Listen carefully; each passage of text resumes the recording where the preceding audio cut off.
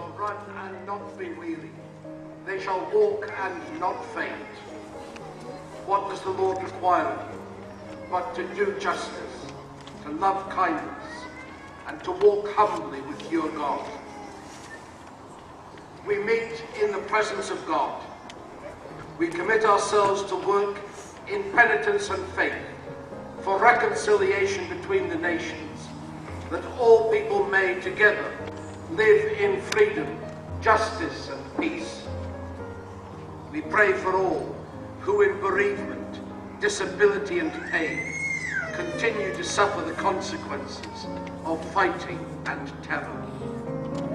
We remember with thanksgiving and sorrow those whose lives in world wars and conflicts past and present have been given and taken away.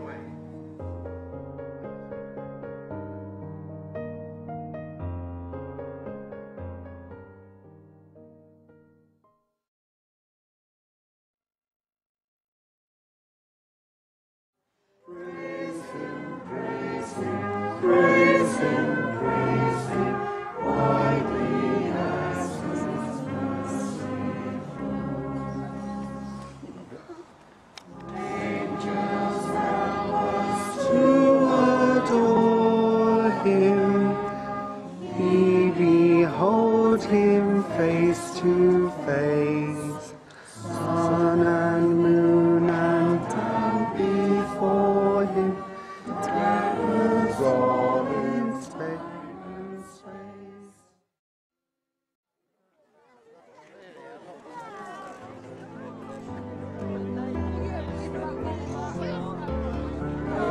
stop you right now.